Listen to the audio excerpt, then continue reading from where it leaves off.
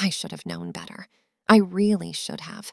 But when Diana flashed that mischievous grin of hers, my fate was sealed. And now here I am, sitting on the edge of her bed with a pink wig in her hands and a sinking feeling in my stomach. How did I even get here? Come on, Caleb, Diana said, her voice lilting with excitement. A deal is a deal. I squirmed. I thought we were just joking. She rolled her eyes dramatically.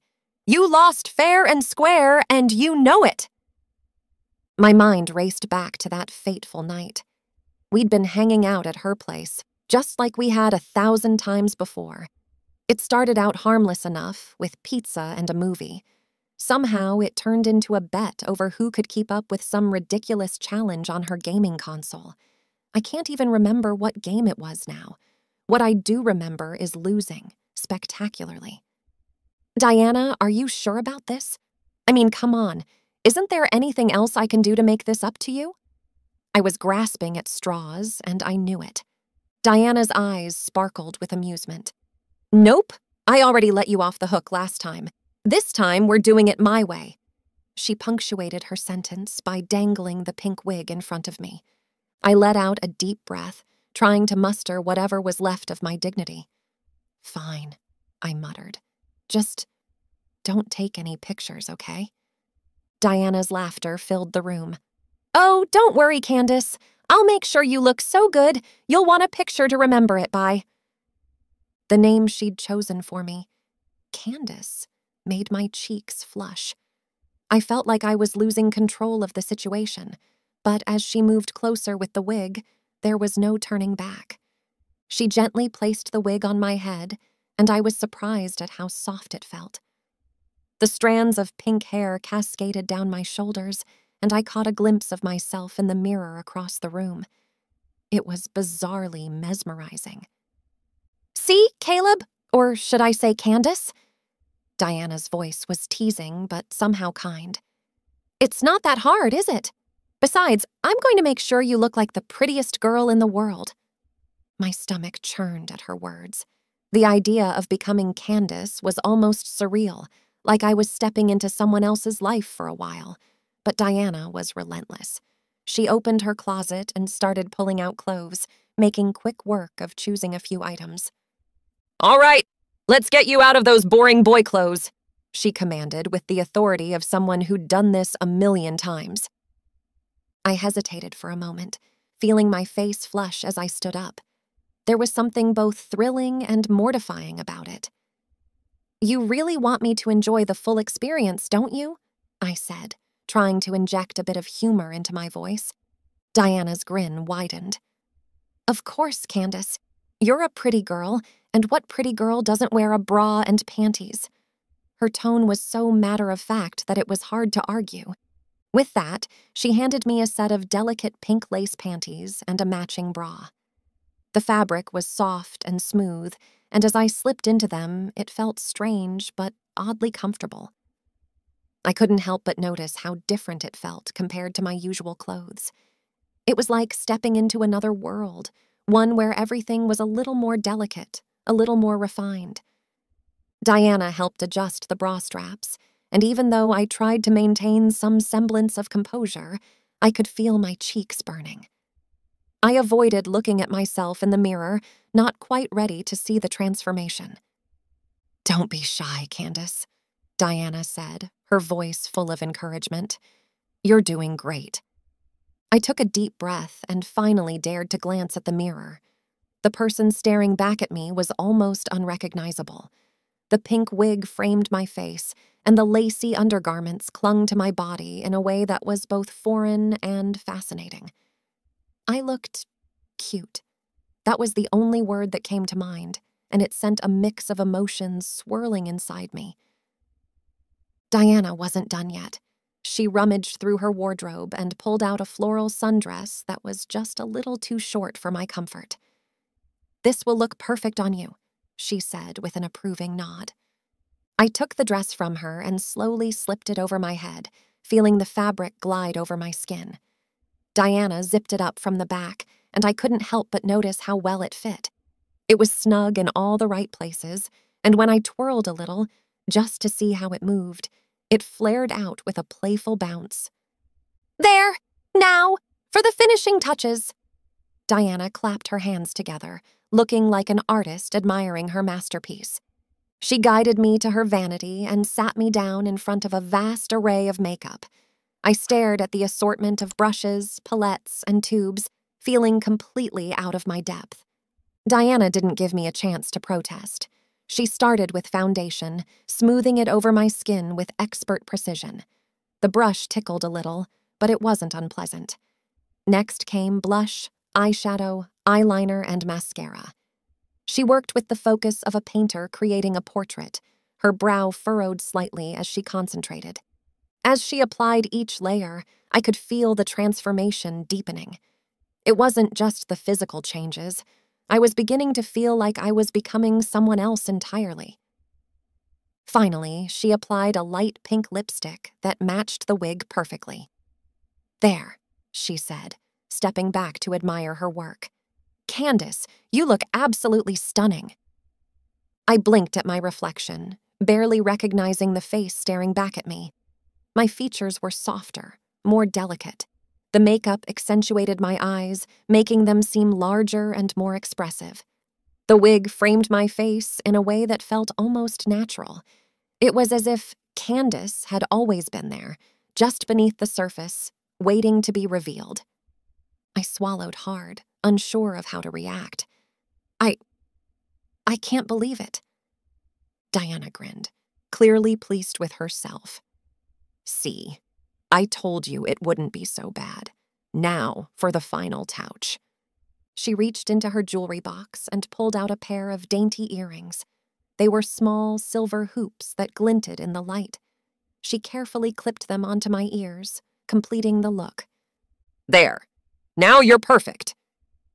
I stood up, feeling the dress swish around my legs, the weight of the earrings lightly tugging at my earlobes. I turned from side to side, examining myself in the mirror. I couldn't help but admit Diana had done an incredible job. So, Candace, she said, breaking into my thoughts, are you ready for the next part of our little deal? My heart skipped a beat. I had almost forgotten that there was more to this. Next part? I echoed, suddenly nervous. Diana's smile turned sly, a glint of mischief in her eyes. Oh, don't worry. You'll see. Just follow my lead. Before I could protest, she grabbed my hand and led me out of her room. As we walked down the hallway, the sound of my heels clicking against the floor sent a shiver down my spine. The entire experience felt like a strange dream, one I wasn't sure I wanted to wake up from. We reached the living room, and Diana turned to me with a conspiratorial wink. Wait here, I'll be right back. I nodded, too overwhelmed to argue, and watched as she disappeared into another room. The anticipation was almost unbearable. My mind raced with possibilities, each one more outlandish than the last. When Diana finally returned, she was holding a camera in one hand and a pair of shiny, knee high boots in the other. I thought these would be the perfect finishing touch, she said, holding up the boots. I stared at them, my heart pounding in my chest. Diana. I thought we agreed. No pictures. She shrugged nonchalantly. Oh, come on, Candace. Just one or two for fun. Besides, you look too good not to capture this moment. I hesitated, but the look in her eyes was impossible to resist. With a resigned sigh, I sat down and let her help me into the boots. They fit like a glove, the glossy material hugging my legs and adding an extra layer of allure to the ensemble.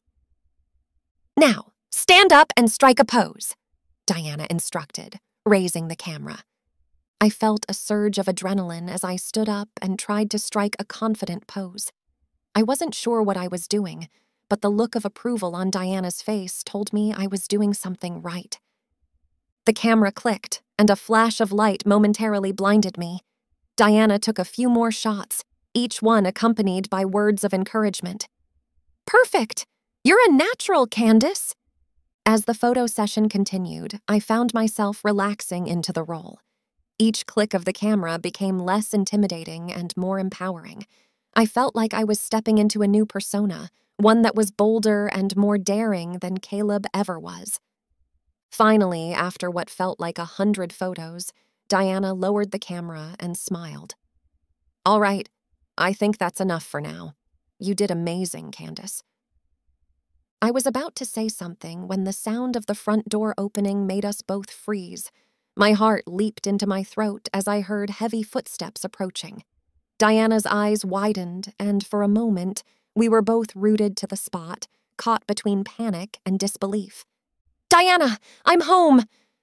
The deep, familiar voice of her dad echoed through the hallway. I felt a wave of dread wash over me.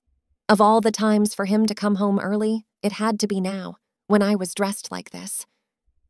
My mind raced, searching for an escape route, but before I could react, Diana grabbed my hand and gave me a reassuring squeeze. Just play along, she whispered urgently. You'll be fine. I nodded, trying to steady my breathing as the door to the living room swung open. Diana's dad, Mr. Reynolds, stepped in with a smile on his face, greeting his daughter like it was just another day. His gaze shifted to me, and I forced myself to smile back, hoping the nervous tremor in my hands wasn't too noticeable. Hi, Dad, Diana said cheerfully, stepping forward to give him a hug. She turned to me, her smile never wavering. Dad, this is my friend Candace. She's visiting for the day. I held my breath as he looked me up and down, his brow furrowing slightly. Candace, huh? You look familiar? He said, his voice laced with curiosity. My heart pounded in my chest. Of course, he recognized me. I'd been over to Diana's house countless times. The idea of him figuring out who I really was sent a rush of adrenaline through me but at the same time, there was a strange thrill to it all. I was dressed as Candace, and that was who he saw. Oh, um, I've probably seen you around town, I stammered, trying to keep my voice as calm as possible. Mr. Reynolds nodded slowly, still eyeing me with a puzzled expression. Maybe. Well, it's nice to meet you, Candace. He turned back to Diana, his tone lightening. You girls playing dress up or something? Diana laughed, a carefree sound that somehow eased some of my tension. Something like that, she said with a wink in my direction. I forced myself to smile, hoping it looked natural. Yeah, just having some fun. Well, you both look great, he said, the hint of a teasing grin on his lips. Don't get into too much trouble, all right? Diana assured him we wouldn't, and with that, he headed off to the kitchen, leaving us alone once more. As soon as he was out of earshot, I let out a breath I hadn't realized I was holding. Oh my God, Diana, I whispered, feeling a mix of relief and exhilaration. I can't believe that just happened. Diana giggled, her eyes sparkling with mischief. See? I told you it would be fun. You did great, Candace. I felt a strange thrill in my chest hearing her call me Candace especially after that nerve wracking encounter. It was like I was slipping further into this new identity, and despite my initial hesitation, I found myself embracing it. We retreated back to her room, and I could feel the excitement bubbling inside me. I can't believe your dad didn't recognize me, I said, still slightly amazed. Diana smiled, a knowing look in her eyes. He saw Candace, not Caleb, that's the magic of transformation. I laughed, feeling a rush of confidence. Yeah, I guess you're right. There was a brief pause as we both sat on her bed, and then Diana turned to me with a glint in her eye. So, Candace, she began slowly, how would you feel about going out for some fun? My heart skipped a beat. Out? Like, outside? Why not? She said, her voice brimming with excitement. You look amazing, and it would be a shame to let all this go to waste. Plus, I think it'll be a blast. The idea of going out in public as Candace sent a shiver down my spine. It was one thing to dress up in the safety of Diana's house, but the thought of walking around, interacting with strangers, people who would see me as a girl, It was both terrifying and thrilling at the same time. I looked at her, her enthusiasm infectious. Okay, I said, feeling a rush of adrenaline. Let's do it. Diana's face lit up. Perfect. Trust me, you're going to have so much fun. We grabbed our bags, and before I knew it, we were stepping out of the house and into the warm afternoon sun. The world seemed different somehow, brighter, more vibrant. I could feel the breeze against my legs, the skirt of my dress fluttering gently as we walked. It was an entirely new sensation, one that made me hyper aware of every step, every movement. As we headed to the mall, I couldn't help but feel a strange mix of nerves and excitement. The click of my heels on the pavement was a constant reminder of the transformation I'd undergone, and with each passing moment, I felt myself slipping deeper into the role of Candace. So, Diana said as we approached the entrance, what do you think? Having fun yet? I nodded, unable to suppress the smile that was spreading across my face. Yeah, I really am. We wandered through the mall, the bright lights and bustling crowds adding to the excitement. Diana led the way, and I followed, still trying to get used to the sensation of walking in heels. It wasn't long before we reached our first destination a lingerie store. Diana nudged me playfully as we walked in. Ready to do some shopping, Candace? I glanced around, taking in the rows of delicate bras, panties, and other undergarments. It was a little overwhelming, but at the same time, there was something liberating about it. I was just another girl out shopping, and no one here knew any different. Sure, I said, my voice a little breathless. Diana led me to a rack of lacy bras and panties, her eyes sparkling with excitement. Okay, so you've got to try some of these on, and trust me, you're going to love pantyhose. They feel amazing. I picked up a pair of sheer pantyhose, the fabric almost weightless in my hands. I could already imagine the sensation of the silky material against my skin, and the thought sent a shiver of anticipation through me. We gathered a few items and headed to the fitting rooms. As I slipped into one of the stalls, I felt a thrill of excitement. Trying on lingerie in a store, this was a new level of the experience, one that felt both daring and exhilarating. I pulled on the pantyhose, the fabric gliding smoothly over my legs. It was a strange but incredibly comfortable sensation, and as I adjusted the waistband, I couldn't help but admire how they looked. Next, I tried on a matching bra and panty set, the soft lace hugging my body in a way that felt both snug and delicate.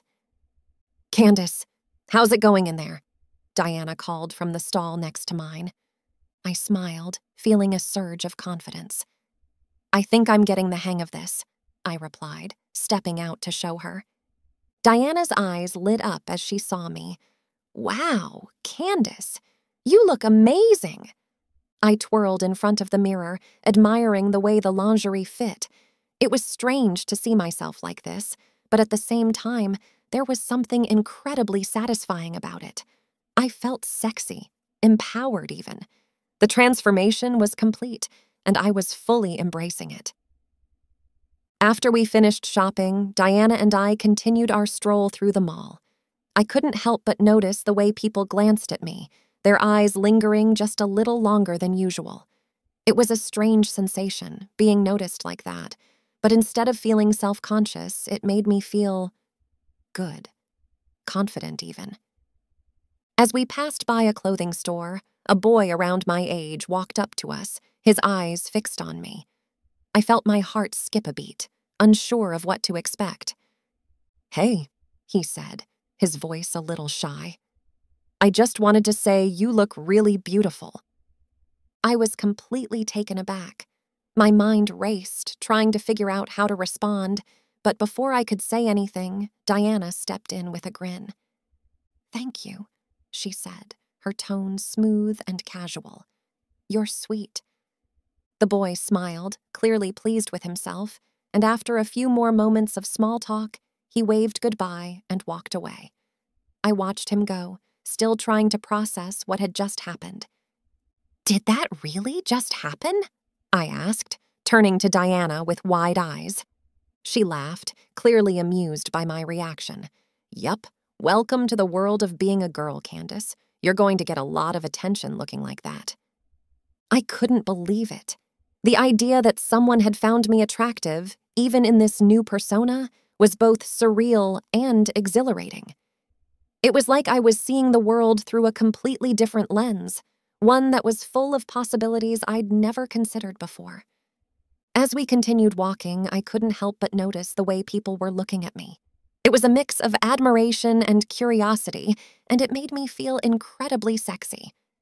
I was Candace now, and for the first time, I was starting to understand what that meant. We stopped at a small cafe inside the mall, and as we sat down with our drinks, I couldn't help but smile. Diana, I never expected to have this much fun. She grinned, clearly pleased. I knew you'd love it. There's something about stepping into a new identity, even just for a little while, that's so freeing. I nodded, taking a sip of my iced coffee. Yeah, I get that now. It's like I'm seeing everything from a new perspective. We spent the next hour chatting and laughing, the conversation flowing easily as we talked about everything from clothes to makeup to life in general. It was easy to forget about everything else, to just live in the moment and enjoy the experience. But as the afternoon wore on, I couldn't shake the feeling that this was more than just a game. There was something about being Candace that felt right in a way I hadn't expected. It was as if this new persona had unlocked a part of me that had been hidden away, waiting to be discovered. Finally, as the sun began to set, we decided it was time to head back. The day had been a whirlwind of emotions, but as we walked back to Diana's house, I couldn't help but feel a sense of contentment. A huge thank you to our amazing Patreon supporters for exclusive 18 plus content that's too spicy for YouTube, early access to our videos, and a special shout out in our credits, join us on Patreon. Click the link in the description to sign up and unlock all the exciting extras. Hope you enjoyed this story, and if you're looking for a daily escape into the world of cross dressing, subscribe now and enjoy new stories every single day.